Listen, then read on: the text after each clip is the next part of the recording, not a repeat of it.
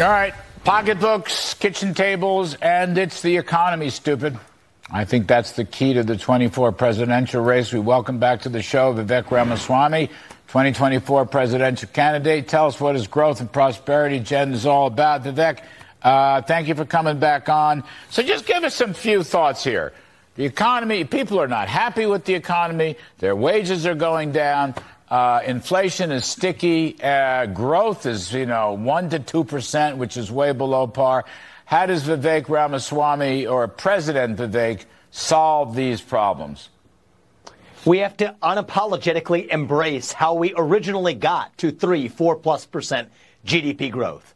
Drill, frack, burn coal, embrace nuclear energy, unlock the American energy sector. That's a top input into economic growth. And by the way, a great way to tackle inflation as well. The other thing, Larry, is that even though the unemployment numbers are low, and Biden cites that as a success right now, the reality is we have a different problem, which is that we have way more jobs than we do have people in this country.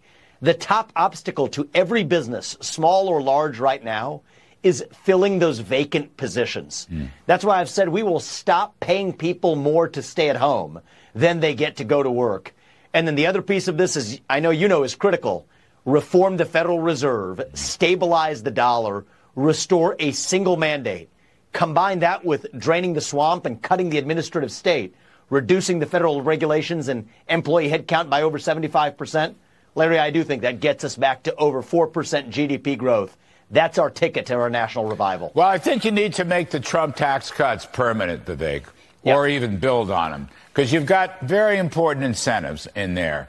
I mean, I, I think that. I'd go a little further, Larry, than yeah. that, to be honest with you. I, I favor a, tw- a 12% flat tax across the board.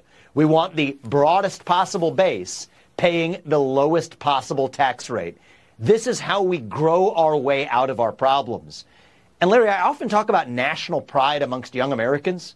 Here's a little secret young people tend to be more proud of a country when we are all making more money in yeah. that country. Yeah. So I agree with you. It is the economy, stupid, but for a deeper reason.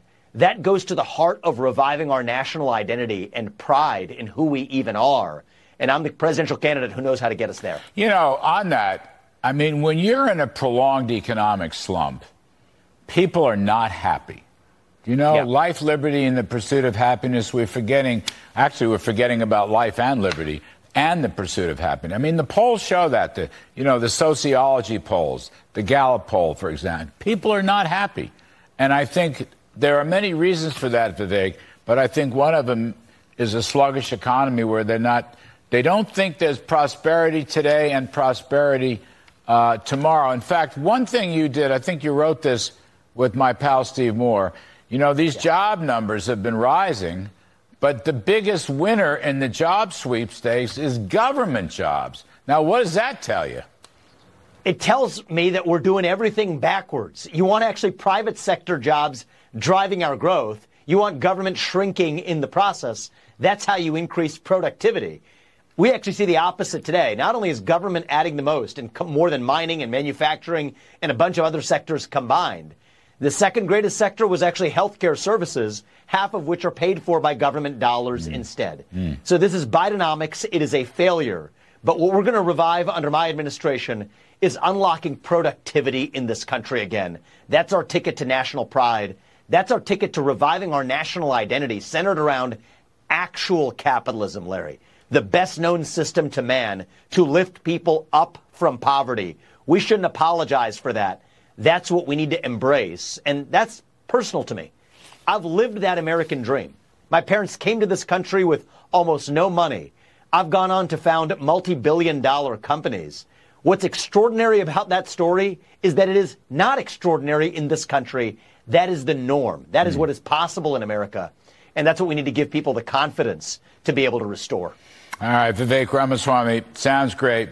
Issues oriented, ideas oriented morale oriented. We appreciate it very much. Please keep going, buddy. You're, you're, on the right track. One way or another, I don't know who's going to win, lose, or draw, but you're on the right track. It's all music to my ears. Vivek Ramaswamy, thanks for joining us.